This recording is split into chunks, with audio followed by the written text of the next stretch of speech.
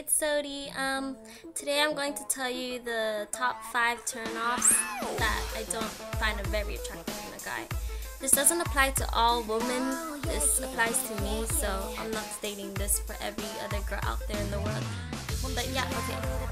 So the first one is um, when a guy does drugs or any type of like substance and like smoking because me personally I don't do those type of stuff so like I don't want to kiss like you know an ashtray like a mouthful of ashtray or whatever.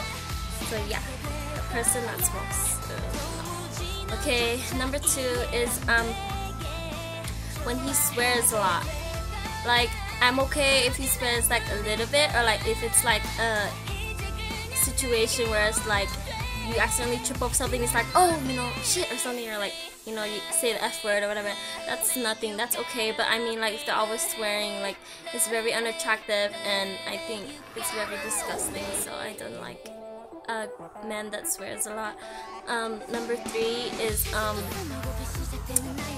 odor. The guy has to smell good. Oh my god.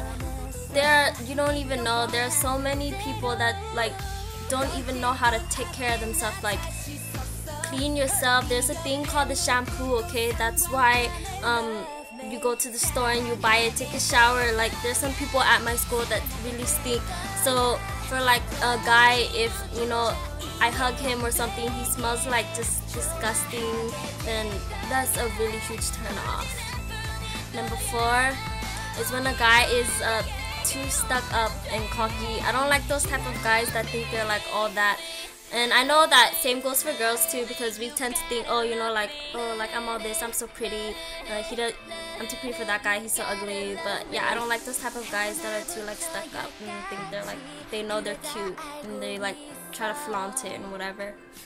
Number five, my last one is um when a guy is a player I don't like it when a guy is just like flirting with like every other girl constantly. Like stick to one girl only, especially if you're in a relationship and you're talking to other girls. Like what does that make you? Like what do you look like? You look like a, you look like a bad person. So like guys that just flirt with every other girl is very unattractive. So yep, those my those are were my five top uh, turn offs in men. Bye.